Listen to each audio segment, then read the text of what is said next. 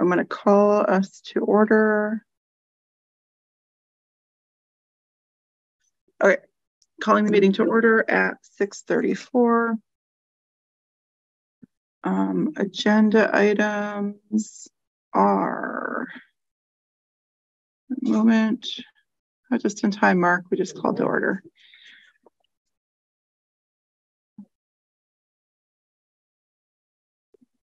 Um, nope, just us. So in the room, we have myself, Evan, Duncan, and Mark.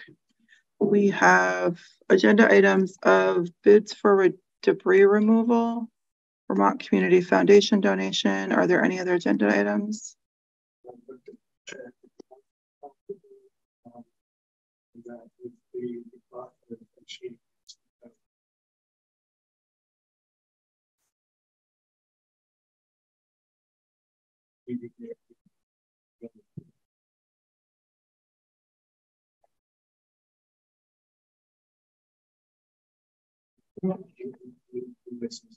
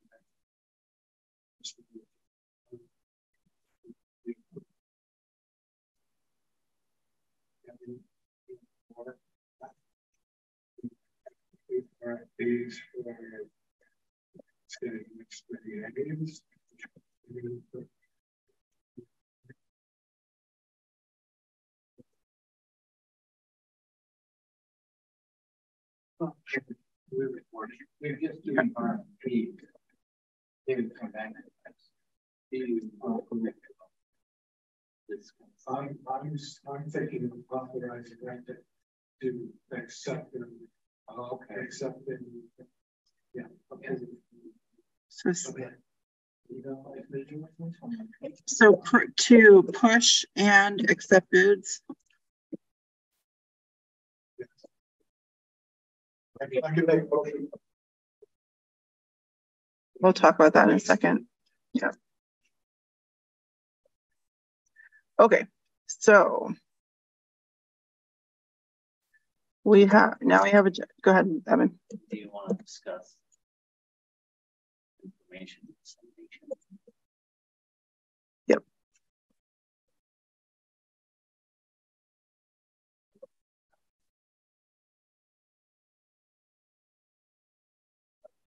Are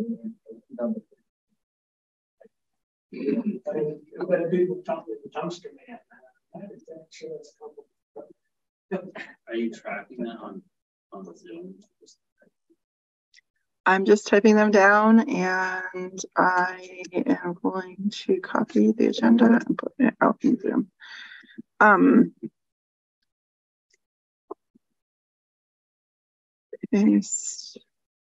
Okay, so for agenda items, oops, I lost the numbers in the first two, but that's okay. Bids for debris removal, Vermont Community Foundation donation, additional added, uh, I don't know why I added that. Um, Beth or Evan, I'll do this better next time. Uh, Beth or Evan to work with potential item, potential action. Beth or Evan to work with attorney on EDA grant letter. Oh, not Carl. Yep.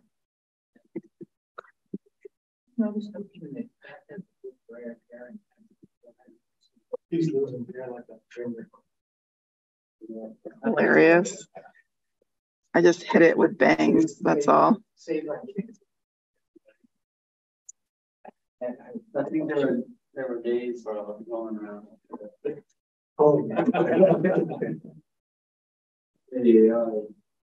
Okay, I'm gonna just repost with correct agenda. Okay, there's the correct agenda. Yeah, we're on Zoom ish. Like you're kind of far away, but that's okay. Um, so first up, bids for debris removal. We have one bid in from the RFP that went out, and that bid is from Casella. Just pull it up. Um,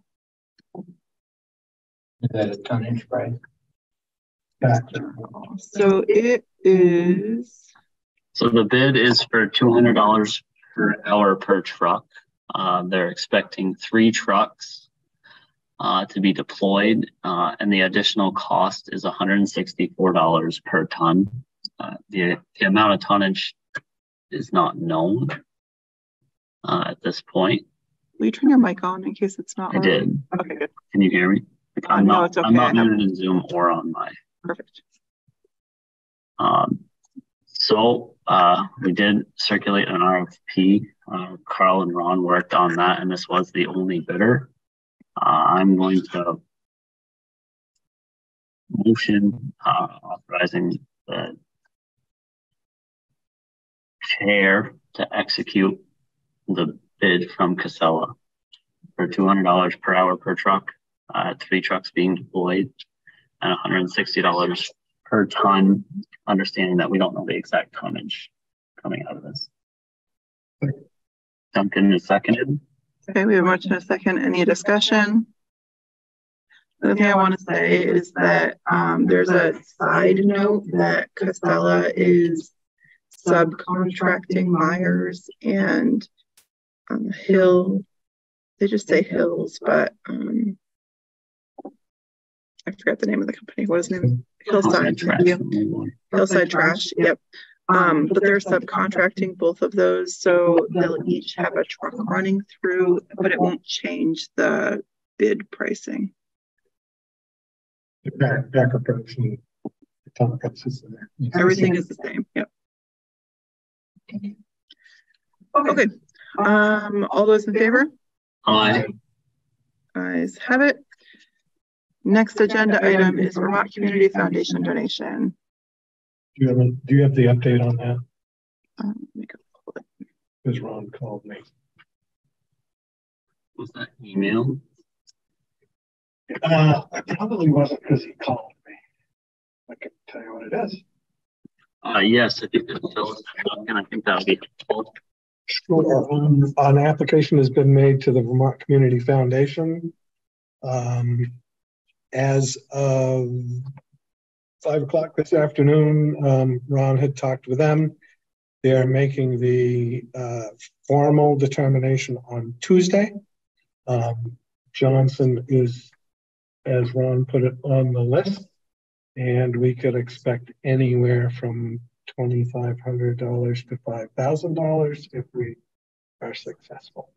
And the list is flood relief awards, or what is the list? The list is that special grant program that Vermont Community Foundation put together for flood, flood-related assistance. Okay. And I forget which, which specific grant. That's good news. Uh, I don't think we need a motion to accept grant money, do we? I don't know. That's a good update on a positive. No, I think that clears that agenda item. Yeah, I think the intent is to, uh, at this point, I'll say is the intent would be to cover unmet costs from FEMA or VEM.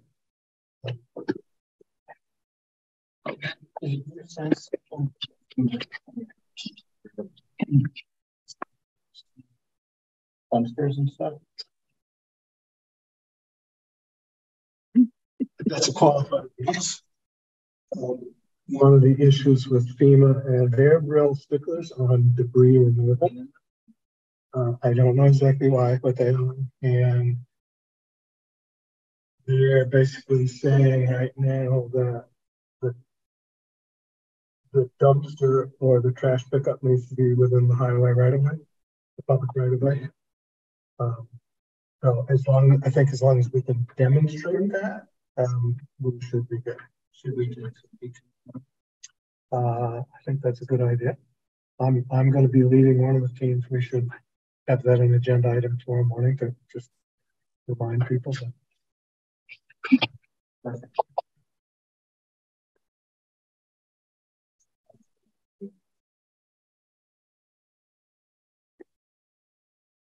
Okay, just gonna make a note of that so I don't forget. Those were the two original agenda items, right? Next is Beth or Carl to work with attorney on EDA grants.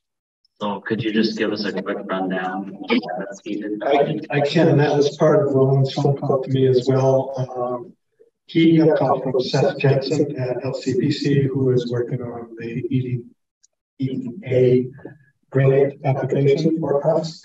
And one of the requirements for the grant application is that we provide a municipal attorney letter basically saying that the town has the capacity to borrow or bond for financing.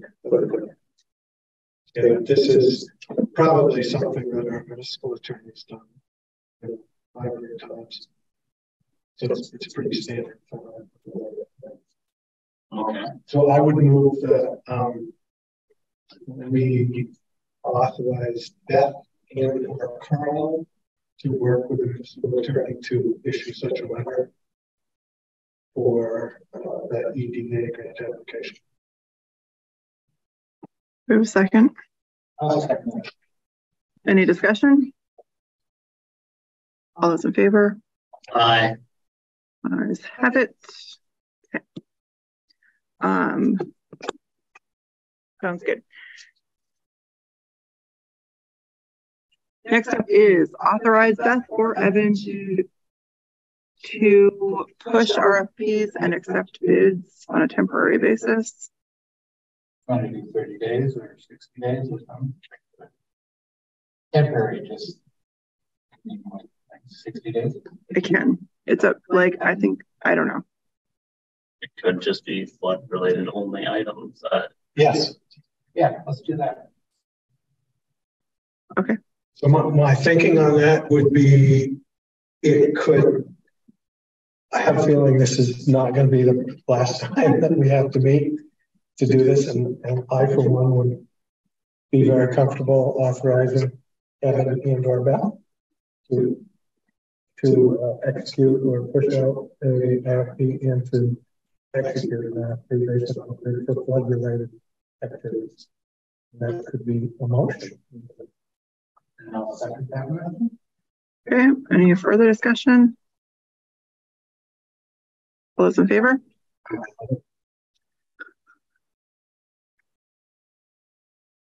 aye. Aye, I'll vote too, since it's kind of weird um, that we're voting for ourselves. Um, okay. Good. How long was that for? He just. Okay, no time. Okay, got. The specific blood event related. If it floods again tomorrow, it'll reset the clock. Okay. I can, I can go on. For clarification, yes, For all. No, from now on ever. Whether or not we're on the board. Uh, okay. Um, next up is information dissemination. So this is, I talked to Carl a little bit about this, but this is about um, me coming back to work basically.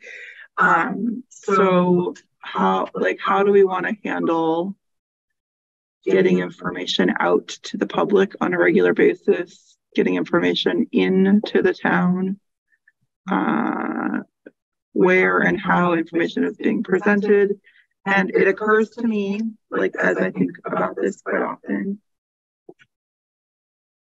being really clear on the way we communicate is critically important. The prioritization and filtering of what is communicated is equally and, maybe even actually more important because there's just so much information out there. Same message. Same message, clear message, and get the crap out. Like there's just a lot that people don't need to be faced with right now.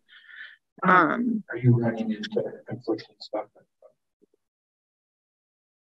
um, there is definitely conflicting guidance out there. Most of it's for towns as opposed to individuals. Um. Just gonna call it fluff that needs to be sorted through so that the community, the citizens, you know, have a clear picture. They don't need a thirty page document. They need, uh, I believe, a, a synopsis of, and you can find the document here if you want to read it. But some of these people that are dealing with loss of everything don't have the bandwidth to even deal with the massive amount of fluff that I'll call it. And some of it's important. Some of it is important information, but it's not the first thing. It's like the eighth thing in a list. and you know they're not at the first or second thing so i think there is a need for filtering and just making sure the way we present information is logical um, and it's just going to get more complicated over time there's zero doubt what are you proposing proposing the face of the select board no. Well, I'm just saying that like I can't spend my time doing I can't spend all my time doing this. And I'm not just doing this during the day. I'm doing other things too. Um, but like I need to go back to work. And we also need somebody who's going to disseminate some of this information. I did talk to Carl based on our last board meeting. He's planning on being in for a full week next week, which is good. I think we need it. Um, and I think he can help with some of that clarity and filtering. But over time, we're going to need a good plan. And I just wonder if we should have somebody who we are confident in their ability to put succinct, clear messaging out there. Like, should we be thinking about hiring someone as on a temporary basis for the next three months who can help? Something that Ron should I think Ron's going to have his hands full in the limited capacity we have him with all things FEMA and town municipal specific work as opposed to helping with filtering oh. information. Yeah, he's more administrative capacity, not informational. I guess that's, that's I should be clear that, yeah, when I think about this, I'm actually not thinking about it in terms of a town government. I'm thinking it more about people of Johnson. Um, yeah. And I mean, maybe this is homework that we need to think about. Uh, I don't know if a decision needs to be made tonight, but clearly, um, well, she's done a great job. It's a lot of hours of a day that Beth has been spending on making sure the citizens have the information yeah, select board members need to go back to work. Um, so how, how many hours do you, I mean, you hire somebody and if you need to execute an RFP for uh, information person you're not authorized, doing 20 hours a week. Um, I mean, you're working 20 hours a day, so. It's a little bit different. Like, I mean, both of us have calls coming in from the from the state and from FEMA. I get it on occasion and from other like entities, and I'm not talking about that stuff. Um, I think that like when the town decides that we don't want to do something or that we learn something from the situational reports or something like that, maybe it's an hour and a half a day, like just compile the things from that day. Um, maybe at the end of the week, it's like just go through and clean up everything that needs to be cleaned up. Um, I don't think that it needs to be a ton. I think it just needs to be somebody who can articulate clearly. I uh, I envision it kind of in waves. I guess there would be days where only an hour is needed, but maybe tomorrow, you know, more than an hour is needed. And some of this information comes in at you know nine o'clock in the morning uh, if it's not posted until later in the day, it's not as helpful, I guess. So would you envision this person you would forward emails to them, or would they be receiving actual emails? And would you no, they wouldn't. They wouldn't receive anything directly in my line. Without you, somebody from the select board's input. I think they need, I think they'll need input from somebody from the town, whether it be select board or Ron or Carl. Uh, yeah, it'll have to be somebody from the town, but I don't think it needs to be any one person. I think that if any one of us had something that's important that we found, they could verify and then do something with it. Um, I'm going to offer a thought. Sure. And that would be I don't think we should underestimate the capacity of either London or Carl to be able to handle this stuff. Um,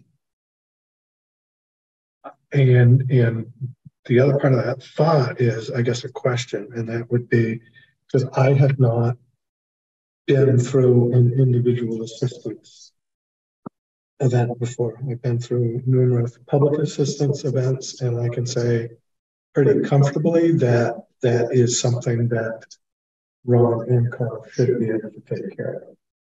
From the from the municipal side, yep. The individual assistance piece is a little trickier, um, but I would also offer a caution that I personally don't think the town should get but I think a lot of that really is FEMA or small business association. We or state or or or or and the list of ors keep going by the way. It, it, it, does but but are we going to be a conduit for providing information of that nature to all citizens? I'm suggesting that. I don't necessarily think that we should be doing for a bunch of reasons not the least of which is if somebody is unhappy with the decision that they get or the information that they get who are they going to blame? Who's the first one they're going to blame? Us. And have listed benefits and, and, there really isn't very much we can do to influence that. If we could really have a major influence and act on their behalf, I might feel differently about that, but I don't think there's a whole hell of a lot we can do. Okay, so a question for you. When decisions are made at different levels, who is going to be the deliverer deliverer of that information. like the decision that FEMA makes about a property. Like, or the state or whomever. Like, is there ever a situation where the town is going to be responsible for delivering information? Uh, you know, I'm, I'm not sure that I know the answer to that question. Maybe that's a good question to ask FEMA folks. Is do you have a plan to get information out to people? I ask that, and here's why I ask that. I ask that because if we're not ever going to be that person, I can support your thoughts on this. If we are going to be that person ever, then we should be preemptive in the way that we're communicating with our constitu- constituents, our residents, whatever you want to call them, um, the people. Well, they're the people, right? Our people. Yeah. So. Yeah if you know i think that that's what it comes down to for me because i would much rather be proactive in saying you know here's what we think is available for you to help you through this and when it comes back around with like here's the hard stuff we're going to hear about that too well i'll throw a question back at you what what resources do we have to, I don't think that's a FEMA reimbursable expense to hire somebody to work with FEMA. Yeah. I don't, you know, that's going to right, be on right, us. Right. And my question to you is, do we have the capacity to do that? I don't think we do. Um, okay, and then that gets it gets even more complicated with our office folks going to be burdened with this. Yes, maybe cost between all the questions and answers uh, between Beth and Duncan. I don't foresee the town being involved with any paperwork application for any assistance. I agree. Uh, I do believe um, the Beth and get a lot of teams that actually, as a part of the emergency management team, you know, if say, for instance, uh, SBA changes its rules and regulations for the split specifically. I personally believe as one board member that that information should get out to the public um, and website and just as those things are coming in, there's no capacity here to do it with the select board members if I'm wrong in how I'm thinking about this, I guess I need to change my optics. Well, I, I, don't, I don't believe the town has any any role in actually filling out paperwork for individual assistance.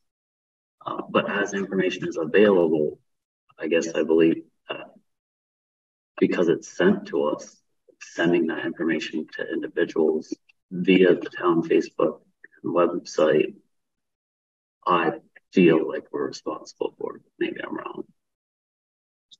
I think that's probably fine as long as, long as we're not putting our stamp of uh, approval on it, that, that we're simply forwarding information from another entity.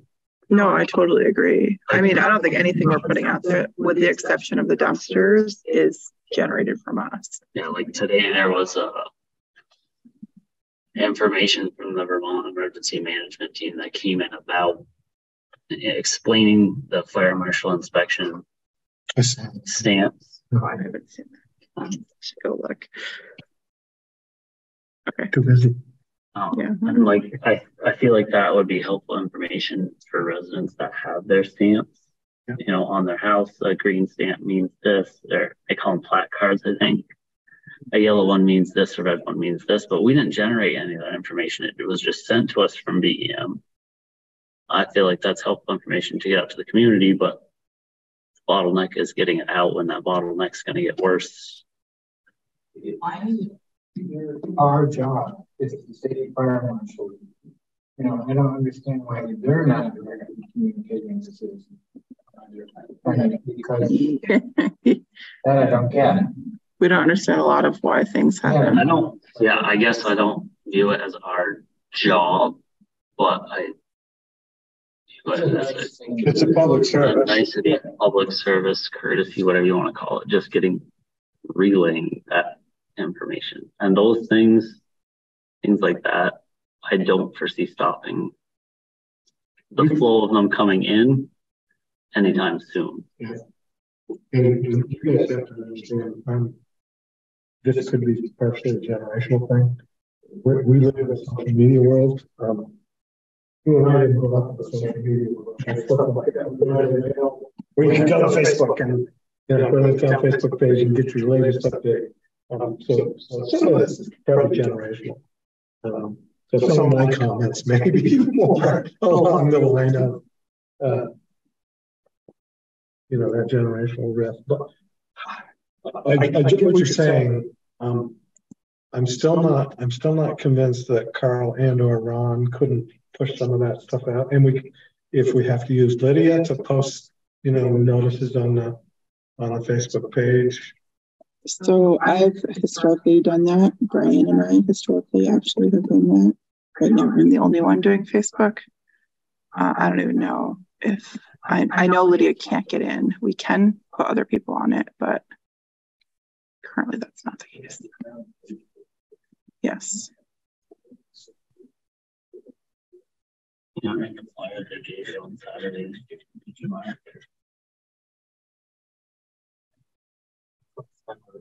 Yeah, yeah, I understand. You know, that might be.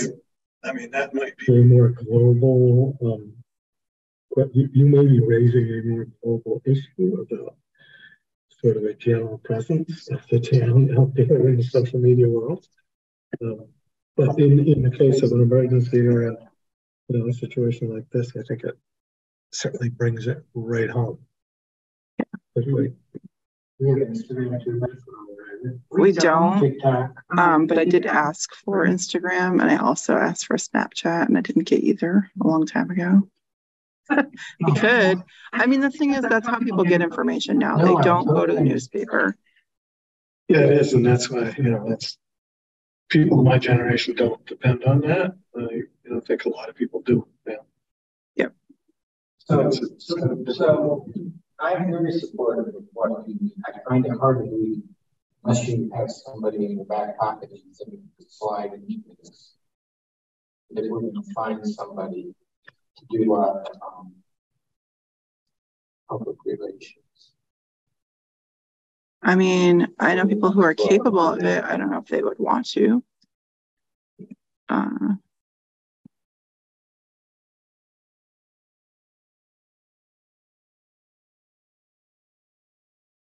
So anyway, um, if we're not ready to act, that's totally fine. We can see how next week goes with putting it um, out to folks like Carl and others. Does, um, does but Carl I do think. update the website or Um, Lydia can update the web website. I am the only one who can access Facebook, and Eric, Eric Osgood actually can too. I think. Great job for Eric. And Nat Kinney might Nat might be. Eric's retired, so maybe he'll do it on the select board salary. Well, yeah. It's like two dollars an hour. I think it'd be a pretty good deal. Yeah, 30, 30 cents an hour, maybe. Um, I guess it's something to think about. Like, uh, information is going to suffer next week. Uh, but I guess what I'm hearing is we should try to do it in house for now and see how that goes. Have a conversation with Carl and have Carl talk to them. So I've had the conversation with Carl a little bit, but you know, the thing is I was that very tech savvy too. Um, And guess what? the thing is their worlds are very different today than they were two weeks ago. And and I get we hired Ron and we Yeah, have two too. resources now. Uh, I know, but the I know. It's okay. We can see how the week goes and play it by ear because we have a, another meeting coming up not too long from now. Next week. I think it should be right now that I see one right here and then next week. Do we not have a meeting next week? No, it's the week after, I think. We Well, I actually mean, don't have yeah, a right. meeting until August. August. Yeah, because there's five Mondays. It was supposed to be our relaxing time where we didn't have, remember how we were going to have like no agenda items? Right. And then we had a bunch, and then July was going to be low key. Never mind. Remember? We're never planning a low key July again. That's what did it. I know. I just, I didn't ask to have this put on the agenda, but it's for that, to just for you guys to think about. We did get that email from Tasha Wallace about the flood, updating our flood zone regulation and having it be a river corridor based thing. I will tell you that when those discussions were happening, I have on was that? Um, the methodology and, and draft um, regulation that they're bringing out there, it would gain us an extra five percent if they're reimbursed. it. So I don't, they lose track of it. The idea is give us an additional five percent. This is the ERAF. Uh, they used to do simple. They fifty percent of what the feds cover. So Right now, we're at twelve and a half percent because we haven't adopted roads and codes. Um, we have an emergency management plan, we have a limp. Um, we have, we have what we need of those ERAF standards to get us to twelve and a half percent. If we adopted the river um, flood zoning regulation, and by the way, ours is really old, it was last adopted in eighty-seven, so we probably should look at that anyway. Um, if we adopted that corridor plan, it would get us an extra five percent or seventeen percent. What are the impacts of adopting it? Well, I think I forwarded an email that had, I know you haven't had a chance to look at it. I'll, just say that I have a lot of heartburn about the approach to the river corridor aspect of it at the time. And to be absolutely honest with you, I don't remember all the concerns that I had, but I had a fair number of concerns. And, you know, I'm somebody that comes from towns that have had zoning. Yeah. Um, so I just, I remember it being very restricted in terms of taking these river corridors. Now, having said that, when they update the FEMA maps, those FEMA maps are probably going to look a lot more like these river corridors that ANR has delineated. So we may be in that situation anyway. Because then I would say, you know, FEMA's going to do the, the permanent maps. And if you're, if you're in this zone versus this zone, if you're in this zone, you're in a flood zone. If you're right across the line over here, you're not, but you might have to get flood insurance. which is very expensive. Um, wicked, wicked expensive because it's flood insurance. It's, you know, it's a very small pool and it's high exposure. Um, so we may, we may end up getting it because you know, more likely it's going to adopt new matches sometime in the near future. Uh, yeah, they're probably going to like these um, maps. My point in raising all this is we have 90 days from the flood event to adopt an ordinance, and we're not meeting again until August. And I don't know that that would give us time to adopt it if we wanted to. So, so are you suggesting we ask that um, Ron and Carl spend a little bit of time on that? They could certainly. I know. I, I almost think for there's a regulate their hazard zoning regulation. Mm-hmm. I don't know if they went the full Monty with this river corridor concept mm-hmm. or not. We could certainly ask him. He may be a much better source of information than that than I am. Because you know, my knowledge is already six years old. Yeah. Um, and that's that changes. I think that, I think that makes sense. I would add about Harper too, but I think we should ask them to look. These are all things flood. I think it's worth doing. And I mainly use it because it's the difference, it's an additional 5% of reimbursement that we could get. The question is, is adopting the regulation worth the 5%? I don't know. Right. Sounds like we need more information on that part. I think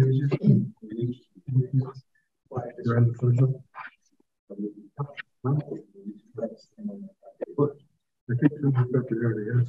The three seventy-nine ideas, but the great complex.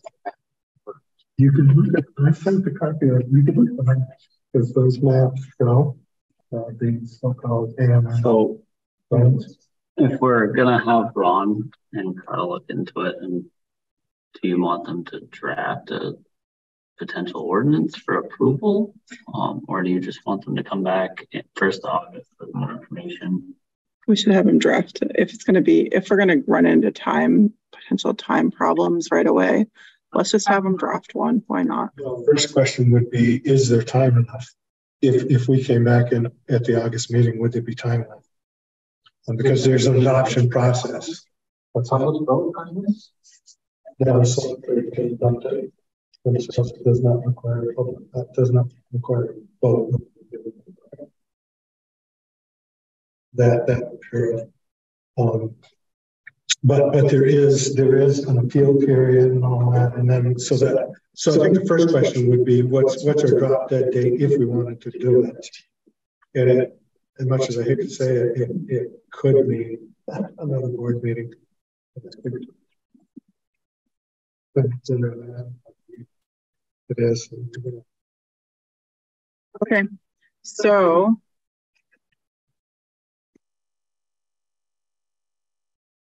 I don't know. So to your point, I think I think it'd be good to have them weigh in and say whether or not they think it's even a good idea or not. Yeah. If if time wise for the adoption process is unrealistic, drop it in the water and add it to the bigger list. I'm fine that if you guys, everybody else is. Ron and Carl, a good grasp on that. Maybe because it's flood related, Ron can weigh in. Know, him and Carl seem to be working good together. So and Barry may have they may have adopted. Carl's doing a good job. Yeah, I think they're doing great together. Are there any other agenda items? I didn't even have that one on the agenda, but it's just, just a conversation. Okay. Uh, in that case, since we have no other agenda items, Chair. Any public input? There's public. Am I the only one that's logged on? Yep. Thank you, everybody. Thank you. Thank you.